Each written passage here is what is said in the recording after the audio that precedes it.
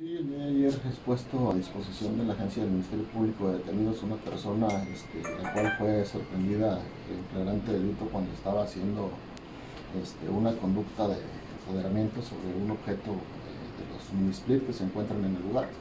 Este, fue debido a una denuncia ciudadana de personas que se encuentran en el lugar, quienes dan aviso vía reporte 911 y atendiendo la rápida uh, función de la Dirección de Seguridad Pública Municipal, se logra la detención propiamente de la persona enferma. Está haciendo una, una línea de investigación al respecto. Este, la prioridad de, del momento tiene que ver con el hecho de eh, ver dentro del término de 48 horas la posibilidad de judicializarlo por, por, el asunto en que se encuentra detenido y a la par también se está trabajando ese otro libro de investigación. ¿Se revisa si hay más involucrados?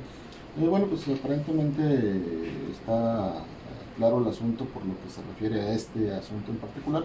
Vamos a ver qué es lo que sale con la investigación adyacente. Tenemos una relación muy directa con gente de la Secretaría de Educación del Estado de Coahuila. Este, estamos trabajando, estamos, como lo hemos dicho, de forma eh, muy particular este, atendiendo a estos bienes del dominio público que de alguna manera sirven para dar ese derecho a la educación de todos los ciudadanos.